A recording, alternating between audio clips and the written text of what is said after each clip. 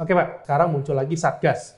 Nah, ini artinya apa Pak? Apakah lembaga yang ada kurang atau seperti apa Pak Ponto? Ya, kalau mau dilihat dari kelembagaan, memang itulah lembaga-lembaga yang ditugaskan untuk itu.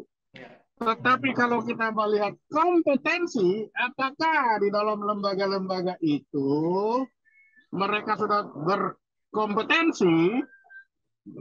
Itu yang kita tidak tahu. Misalkan contohnya BSSN. Apa iya BSSN ada kompetensinya dia di situ? Nah itu kan kalau bisa BIN, kalau ada kompetensinya dia lebih apa-apa. Masalahnya kita kita tidak tahu isinya di dalam itu ada enggak orang-orang yang betul-betul berkompetensi. Jangan sampai kalau di dalam organisasi itu hanya untuk mengisi jabatan strukturalnya saja.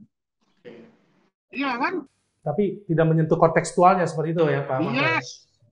Tidak menyentuh kompetensinya. Ini kita bermain betul-betul 100% itu melawan kompetensi, melawan kapabilitas.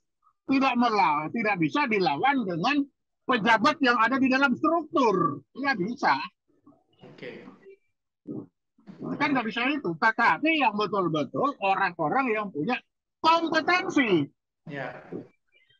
Itu.